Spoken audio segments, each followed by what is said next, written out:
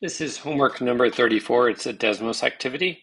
It's made up of 14 slides. I'm going to work through the first eight, uh, and then the remaining six slides will have some of uh, some problems that are very similar to the first eight. So as a recap, before spring break, we were working on slope-intercept form, um, and that was y equals mx plus b. And y equals mx plus b was that um, m, uh, the variable m, represented the slope. So we're going to go to our graph and we're going to find m, our slope or rise over run. And we're also going to find b, which is the y-intercept. In fact, it might be best to start with b, the y-intercept, which is where the line crosses the y-axis. And so that is at negative 3. So we're going to go into our equation and we're going to set that to be negative 3. Uh, next, we're going to figure out what our m or slope is. So we're going to go on our graph and we're going to find another point on the graph like there or there or there. These are points that are on the corner of the grid and on the orange line. And if we find a couple of them, they should be equally spaced. Then we're going to draw in our slope triangle and we're going to count out our slope. So it is down one and right one, two, three, 4. All right, so we're going to go in here and we'll now edit this. And it was down 1 and over 4. And what we should see is a line that overlaps the existing line. There it is. We'll press submit. All right, slide 2, but feel free to pause the video.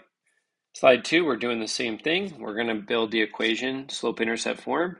We're going to start by finding the y-intercept, which is 1 and then we're going to find another point on the graph. There's one. Oh, there's one. There's one. And between two of them, any two, we're going to count our rise over run. And our rise is 2, and our run is 1, and it is a positive slope. So here we go. Our equation is y equals rise 2 over a run of 1, x. Could also just make that uh, 2x without the 1 in the bottom, doesn't matter. And then plus, and the y-intercept at the very beginning we said was 1. It crosses the y-axis at 1. How about slide 2?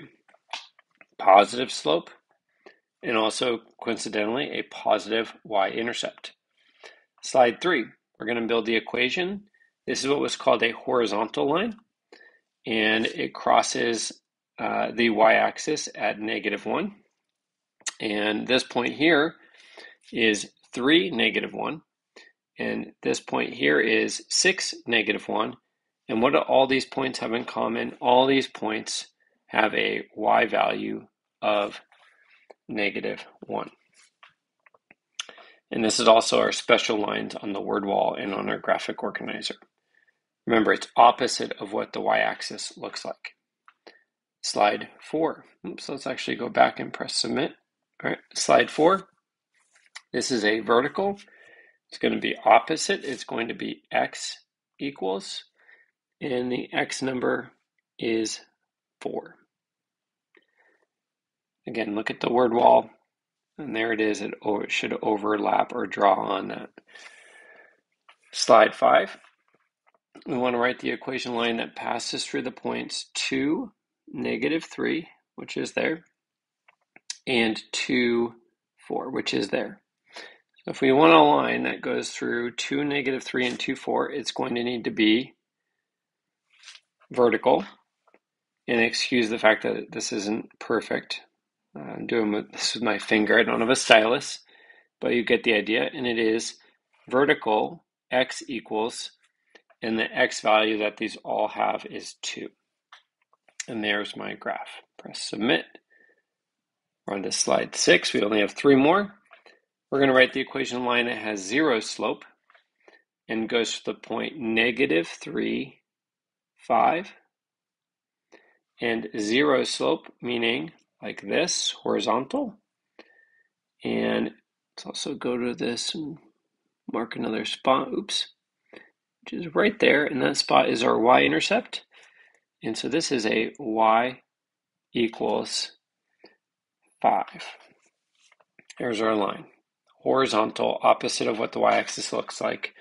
We might also remember that we can actually put this if we wanted to, um, but we usually did not put 0x. It's actually best to put it this way. It's more simple or simplified. Slide 7.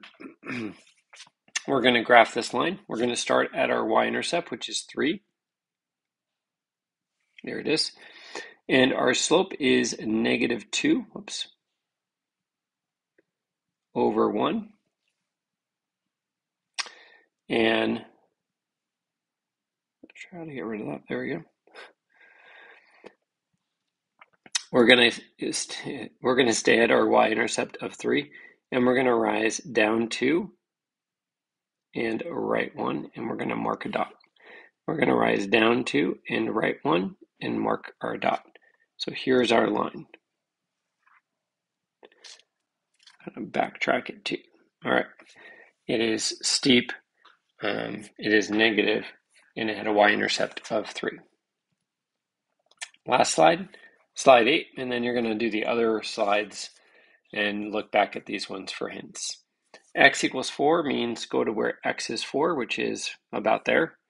It's off just a little bit.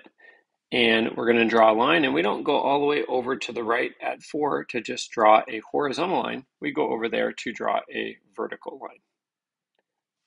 Look at that graphic organizer on the back. And x equals 4 was the weirdest of them all because it also went with an undefined slope and it also went with a y-intercept of none. This did not have a y-intercept.